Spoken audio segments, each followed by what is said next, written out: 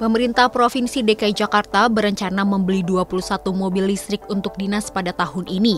Badan Pengelolaan Aset Daerah DKI Reza Pahlevi mengungkapkan satu unit mobil listrik dianggarkan sekitar 800 juta rupiah. Mobil listrik tersebut akan digunakan oleh Sekretaris Daerah, Asisten Sekda, Inspektorat, dan Badan Perencanaan Pembangunan Daerah. Anggota Badan Anggaran DPRD DKI Jakarta Gembong Warsono mengaku belum mengetahui rencana pengadaan mobil listrik tersebut.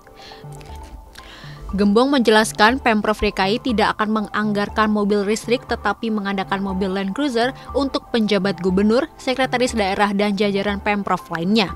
Namun menurut Gembong pengadaan mobil listrik ini lebih baik sebab harga mobil listrik tersebut lebih murah dibanding Land Cruiser yang mencapai 2 miliar rupiah. Sebelumnya, Pemprov DKI Jakarta melakukan pengadaan mobil listrik untuk kegiatan dinas sebanyak 21 buah pada 2023. Pengadaan ini bertujuan untuk mendukung kebijakan ramah lingkungan.